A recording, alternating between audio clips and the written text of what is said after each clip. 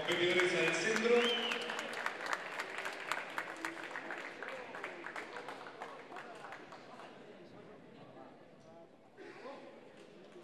Competidores al centro. Jueces, fallo de la pelea. Empate.